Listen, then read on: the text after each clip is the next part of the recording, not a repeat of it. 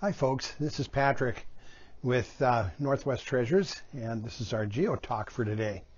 Uh, we've been doing some work around our home here this spring and uh, so I thought I'd kind of give you a little tour of some of the rocks that we collect and we put in buckets and then I tend to forget about them.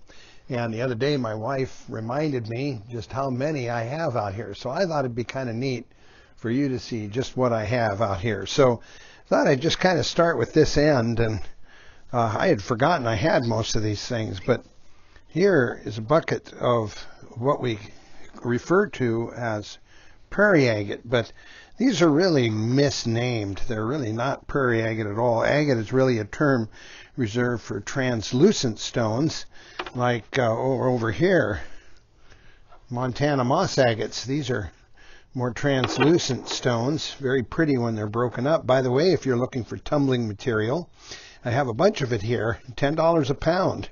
And in fact, these so-called prairie agates are also very pretty tumbled up, and they're also $10 a pound.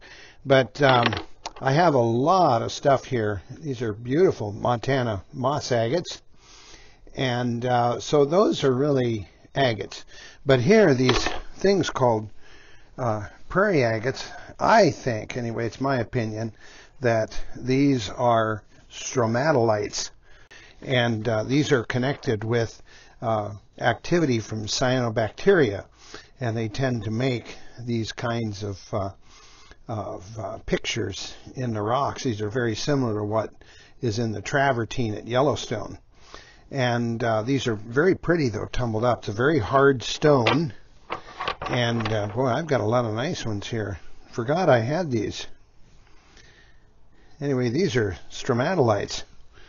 And uh, look at underneath this bucket here. And well, here we go, more Montana moss agates. And she didn't throw any of them away. That was kind of you, sweetie.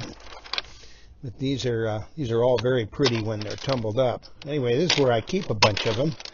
Um, underneath, well, what's this over here? Ooh, I've been looking for this stuff. I need this. This is uh, shale from Montana, and uh, it's very pretty shale, but uh, I can I can use it. Man, there's a big bucket of it here. Well, I just forgot I had it. Anyway, lots and lots of shale. Uh, but uh, going down the row here. What else do we have? Well, lots of petrified wood. Look at this stuff here. Now, there's one with a bug on it. Not a trilobite, though. yeah, that's a pretty piece of petrified wood. Lots of it in here. And uh, some really pretty green marble. Look at this stuff here. This is nice. Green marble.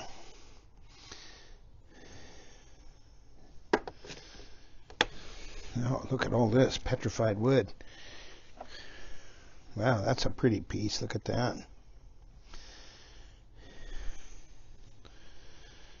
This stuff here I picked up in Oregon one year. Very, very nice stuff. Also very pretty tumbled. And back here, ooh, this is uh, vesicular basalt. Vesicular basalt is actually very uh, basalt with, uh, that had been very gaseous, and that's what those holes are. Technically, they're vesicles. And then uh, I remember when I was doing a lot of cutting, I cut a bunch of thunder eggs and never got around to polishing them. So they're right here. Wow, lots and lots of them in here. Now we're doing this when it's a little on the chillier side because this place will get snakes. It gets a little warmer, warmer and uh, I don't like snakes. Oh, over here, I could use these.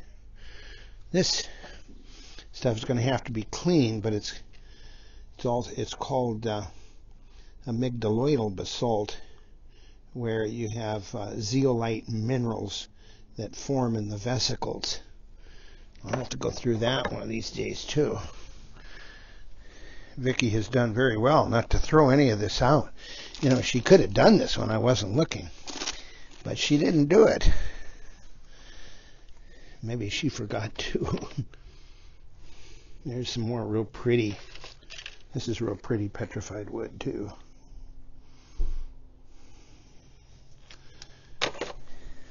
It's amazing. You find this stuff and probably think you're going to use it one day, um, and uh, you just you you never do. You just kind of keep it back, and then comes a day you you do need it.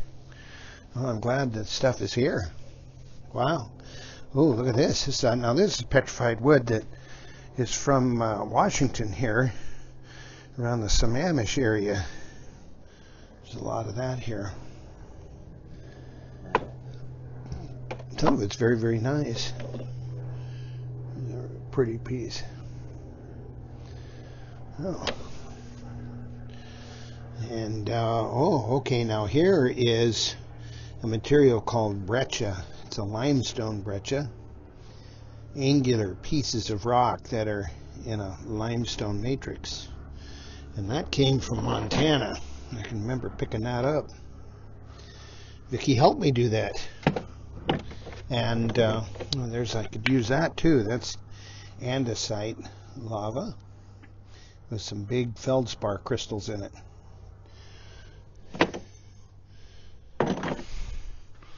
Wow, what an adventure. Oh, look here. Look, you're going to use this. This is uh, porphyry. Porphyry means that there are visible uh, crystals in uh, some kind of a matrix and that's what this is. Those white marks you see sodium feldspar. Well, I do have a big supply of, oh, there's more of, there's more of the basalt board. There's a nice piece there. The feldspar crystals tend to be rectangular in shape. And wow, look at this petrified wood. There is a nice piece. That's a real pretty piece there.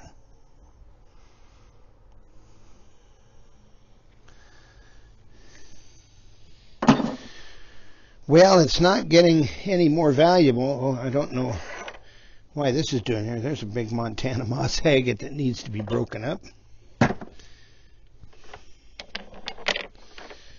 And part of a pretty quartz geode there.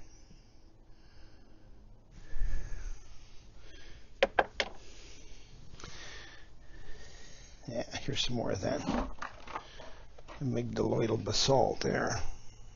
You can see the crystals in the vesicles.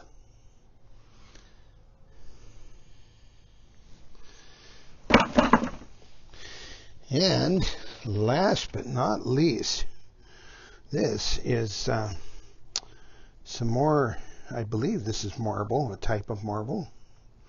It's really kind of a pretty, pretty stuff. But that'll also come in handy. A lot of this stuff will show up in your kits over the next year. There's a nice piece of quartzite. You can always tell quartzite has a real sugary appearance. And There's some more marble there. Marble doesn't have to be white. It can be all kinds of colors. But definitely it is a, a rock that's been changed in some way. Well, here's to another 25 years of collecting. And uh, see, you can have fun too. Just let your kids take those five gallon buckets out when you go out driving and fill them up and and bring them home and store them right outside your house. have fun this summer.